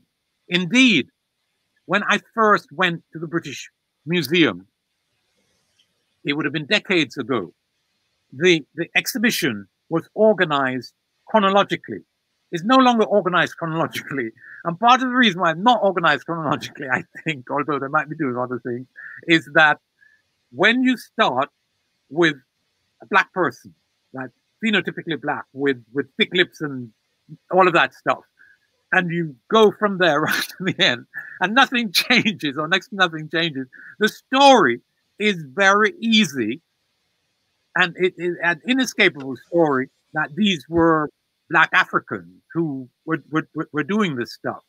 And um, in those days, the really popular with children now part of the Egypt exhi exhibition was the mummy room because most of the mummies they had in, in there and the, the mummy related literature came from late Egypt and a lot of them were not Egyptian at all or mixed Egyptians and Greeks and so on. And and they were telling a lie using that very late Egyptian stuff to to convince the young kids that um, the ancient Egyptians were not black people. That's true. Okay, there's another point I've got because you know during I was jotting down some note during uh, while he was talking.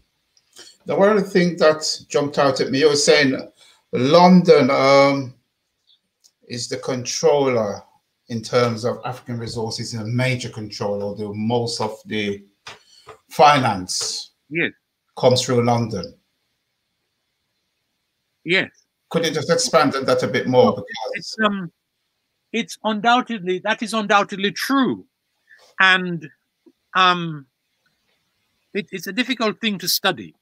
But the truth of the matter is that if you take South South Africa, for example, the gold, the diamonds, um, the platinum, whatever else is there, all of those big resources mm -hmm. are controlled right here in London, right?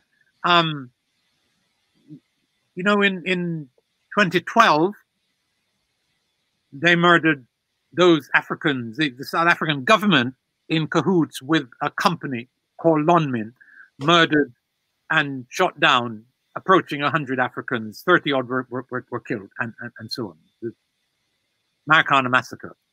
That company has since been sold. But sold though it is, it's still controlled by a company registered in the city of London, right? And and um, about four years ago, um, some people did a study. They called it the new colonialism, but and, and what they're talking about was the extent to which African resources doesn't matter what you're talking about, fish, diamond, gold, platinum, legitimately extracted, um, is controlled from the metropole and owned here. Yeah, and that that's the point I was making. It's undoubtedly the case. And again, um, in in a if if if we were to want to explore that, next time I'm on or the time after that I'm on, I'm perfectly willing to go through the figures. The material is available.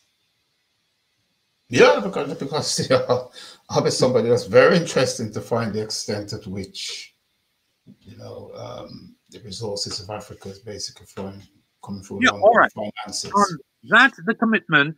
Mm -hmm. We'll, we'll, we'll delay so, the, the race one and UNESCO and all of that to the time after that. On the next occasion, okay. what I would look at is the extent of the control of African resources in the metropoles and especially in the city of London. London. Okay. Yeah? And uh, sometimes the companies are Indian, sometimes the companies are Australian, but they're headquartered here. And what they're doing is holding and controlling and ripping off African resources. Hmm. That's interesting. I mean, I know you're going to talk about it, but Have you any um, reason as to why they would all choose to register here or base themselves? Because, um, and it's long been so, the city of London is the headquarters of world capitalism, right? Um, believe it or not. And and and that being so, and with Britain being in the EU on, until recently, and that's the stupidity of, of, of leaving, um, London was the place to be for capitalist enterprises, and in particular, capitalist enterprises that control resources in Latin America, Africa, and parts of Asia. Now, it's a historic state of affairs that hasn't changed and is being reinforced right now as we speak. Yeah, okay. well, that's fine. That's interesting because I know the gold reserve of um, was it Venezuela is right here. Yeah. So, so was the case for Iraq as well. Yes. You know, yeah. That's uh, that's fine. So we'll, I'll, I'll, we'll we'll explore that. Okay. All being well, the, the first Sunday of right. December. Okay, there's another point here that's came up by Conan. You speak about the white racism in, I said, Mesopotamia and in other parts. Okay. Um, I, I, I, don't know what Diop has to say about white racism in, in, in, Mesopotamia, in Mesopotamia. May have something to say about that, but I can't re pretend to remem remember that. The the um at fundament, what we have to remember is that the world starts off as us, black people, and world civilization starts off with us. So, in in Mesopotamia, should mention that first. In the Nile Valley, Mesopotamia, and in the Indus Valley in India, we're talking about early civilizations and the this is something else that I can talk about and actually have the the, the, the pictorial material to, to, to go with it. The the iconography of those old civilizations shows now if you go to India and look at the old temples or go even further east than India to to you know Vietnam to Laos and so on um, those temples the the the, the people um, the figures that decorate them, the old ones, are, are, you know, strikingly African. And then something happens um, in India and in Mesopotamia, especially in India, that um, people who call themselves Indo-European, who are light-skinned or white, invade and conquer India. And um, set up a religious ideology. That's what Hinduism is. It's actually a pigmentocracy. It it it, it um, ascribes goodness and divinity to whiteness and and all the way down the chain. And that still operates in India. When Nehru passed, the man who was to succeed him was somebody called Jagjeevan Ram, blacker Indian than you and me. And they wouldn't let him succeed they put in Shastri instead, right? Pure, unadulterated race, racism, India. Now, um, in Mesopotamia, we're talking about Sumer, we're talking about a whole set of other civilizations there. If you go and look at the iconography, you will see um, racial mixture emerging. And that is because in that part of the world, thousands of years ago, some of these Indo-Europeans who had been transformed in the ice and were now stronger and, and reaching out and reaching out aggressively were beginning to penetrate that part of, of, of the world as well. And you can see it in the old representations of the, the, the, the kings and, and, and, and, and so on. Uh, again, this is something that, um, if there's interest, I used to teach this stuff at, um, at, at Head Start 40 years years ago and we can go back over some of it on on on, on this this this program because it, it's important and and people need to understand the the the extent to which um, those historical processes by which um, whiteness imposed on black cultures and sometimes quite successfully and sometimes with, with mixtures that the, the black people um, accommodated and so on. And that, that stuff is, is, is documented, um, explicable, and the material is available. Mm -hmm. Okay. Um, right. There's another point I have here um, from your presentation, and that is a point concerning China. Yes. You said European is fomenting a war against China. Yes, I do believe. I do okay. believe that. Yeah. Um, I, I, literally, right. Trump is um, a, a focus of it, but it's by no means just him. And if it was just him, it wouldn't be so worried. But in my talk, I said that some of the best and brightest Europeans are now, you can hear it on the BBC. You can see it in, in, in, in, in the better newspapers and there's whole screed of books that, that, that are coming out. Um, you can see it in the way in which they promoted those crazy young Hong Kong people who've forgotten that they're Chinese in, in earlier this year or, or, or, or, last year over nothing. When right, um, can you imagine some young people in London or New York or um, Washington acting against the state in the way that those Hong Kong young people acted and and and, and being praised by the by the British press, yeah, or by the BBC or by Sky, and yet, right. So, um, almost everything that can be used against China is now being used. So, Trump's thing is that they spread the the, the, the virus, and Trump's thing is that they're they they for years were exploiting the the U.S. market. He doesn't bother to talk about the extent to which China's strength um, at the level of industrial production is a function of the fact that Western enterprise after enterprise, Western capitalists after capitalists, sourced their stuff there and invested in in production there because it was cheaper, more efficient, whatever. Right? Nothing to do with the Washington swamp. And the only reason Trump wasn't involved in, in, in that transfer of production to China is that that isn't his kind of business. His business is tourism and and entertainment. That's the only reason he, he wasn't in, in, in, involved in that. So the the Westerners who are mounting this this campaign um, pretend to be con concerned about the freedom of young Chinese in Hong Kong. Since when? The Westerners who are talking about this thing uh, pretend to be concerned about the Uyghurs. The Uyghurs are Muslim on the edge of China. Um, the Chinese say they're, they're, they're, they're terrorists. They may or may not be. But this is the same Western people who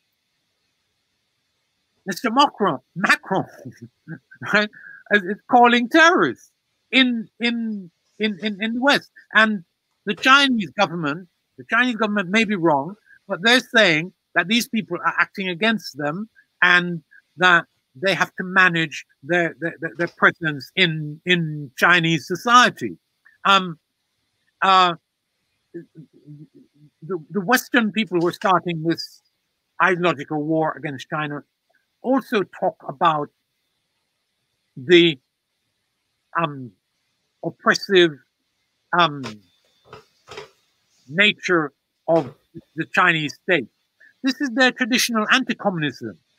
In their pursuit of their interests, Westerners use every ideological line that they can use, and very frequently they forward as defenders of freedom when all they're doing and, and free markets when all that they're doing is defending their interests.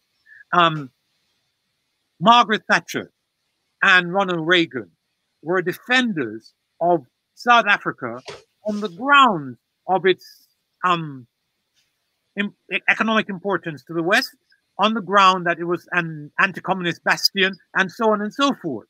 It's those same arguments from the descendants of those folk, some of them more liberal than Thatcher and, and, and, and Reagan, who are um, formulating this argument in which they fulminate against China. And I say that we Africans and everybody in the world really has to be careful about it mm-hmm. because racist Westerners are mobilizing against the Chinese, and it's it's it's it's a racial mobilization, racist mobilization. Okay. Well, I think we're running out of time fast, so let's bring in Ndugu Imani to the thing. But just before we end, I'd just like you to touch on the point about you, you brought it up in terms of the Maangamizi, what happened in Africa yeah. around that, and um, uh, okay, you know, just to enlighten us a bit yeah. more. Um, it, it it needed to be mentioned and can be returned to briefly. The point mm -hmm. I'm making is that um, the Holocaust against the Jews and blacks and, and communists and gypsies in mm-hmm. Europe was not exceptional. That Europe had a history of genocide internally and externally, that they had been genociding Jews for something like 2,000 years.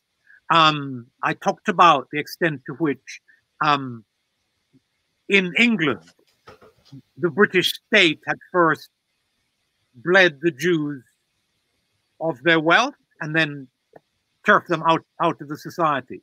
So, so uh, how far back was that? I think, that, if I remember that, right, about 13th to 9th, 9th century or 11th? No, um, Cromwell let them back in. So it happened three centuries before Cromwell right? So Cromwell was 1600, so the, the expulsion of the mm, Jews something like 1300 and something. Yeah, about 1300. something. Mm-hmm. Um, okay, so the point I was making was that internally there were, were, were genocides and extermination as, as part of European history. And that as they went out of, of beyond their borders, now empowered by a technology that the Chinese could have had and decided, for example, that gunpowder was for entertainment, not for war, right? Um, so the, the, the, the Europeans, their one strength, one fundamental strength was military technology.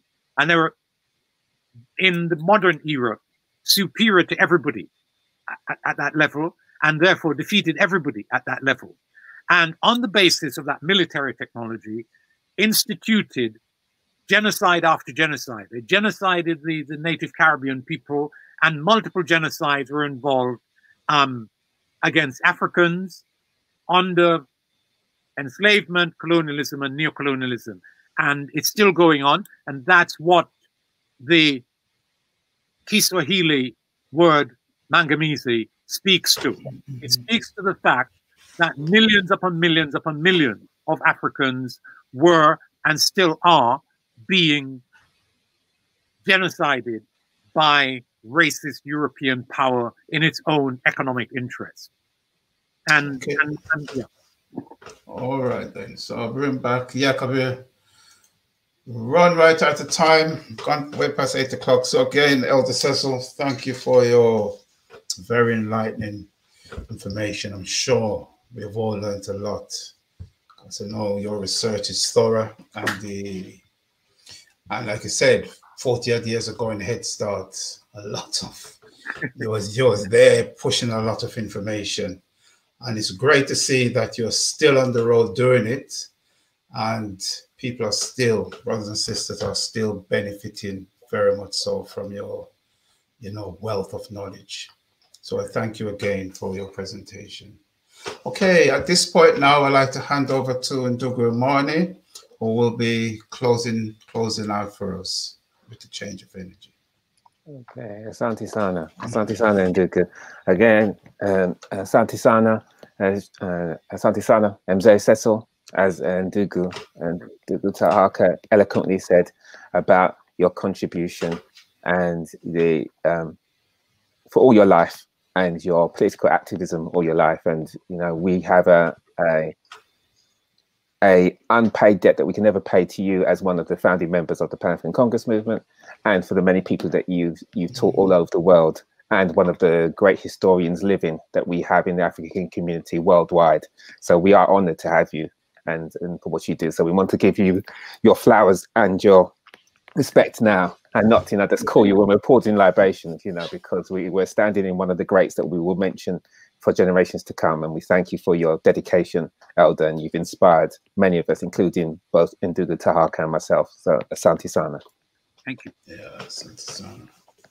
Okay so let us now uh, end our this wonderful session that we've had today and end end it with our ritual so closing the closing ritual and so Ndugu Tahaka, I will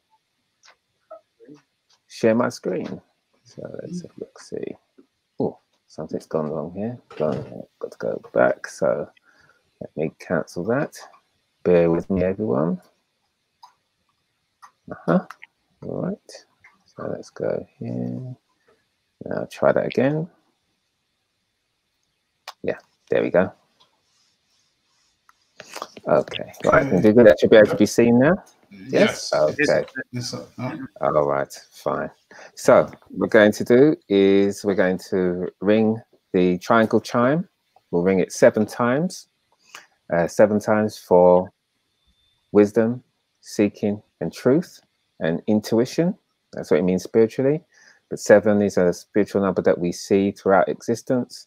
You see the seven laws of Tahuti, the seven major notes of the scale, seven um, uh, seven colors in the spectrum in the spectrum, seven layers to the skin. Uh, in mythology, seven deadly sins, seven seven um, uh, uh, uh, the, se- the, the, the seven um, uh, the the seven trials of Hercules, and so on and so and, and, and so and so on and so forth. So it's a very strong spiritual number. So uh, I ask if you wish to participate, then please close your eyes, sit straight with your spine straight so that your seven energy centers are in line. And we're going to breathe deeply. We're going to allow the chime to go around us, over us, and through us. And while we're there, we're, we're concentrating and thinking of meditating upon appreciation and gratitude to the all that is within all of us. We have the same quality, but not the same quantity. To the ancestors we called into this space, and also into the uh, the principles and powers that underlie all existence that are not outside of us but within us.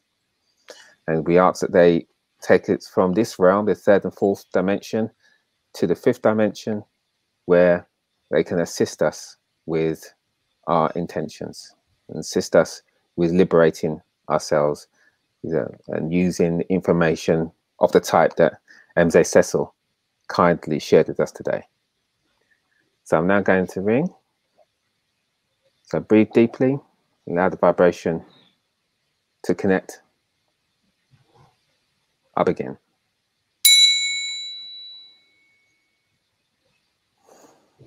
Moja.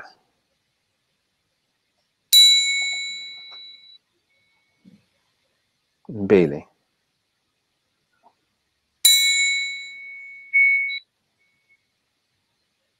Tatu.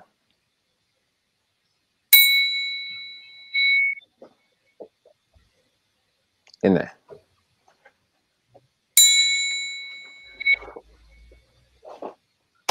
Tano.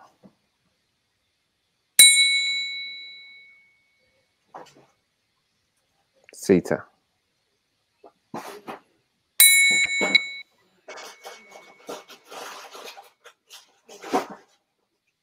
Saba.